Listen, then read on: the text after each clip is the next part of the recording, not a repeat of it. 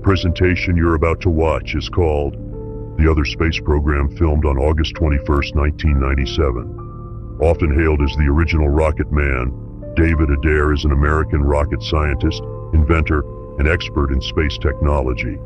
He is renowned for his groundbreaking work in advanced propulsion systems and space technology spin-off applications for industry and commercial use.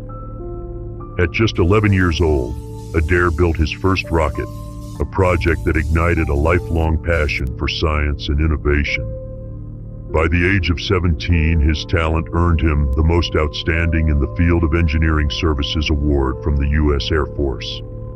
His remarkable achievements drew the attention of prominent figures, including Air Force General Curtis LeMay, who facilitated Adair's work on an electromagnetic fusion containment rocket. Adair is also known for his first-hand testimony on extraterrestrial technology and experiences at Area 51, contributing to his reputation as an authoritative voice on UFOs.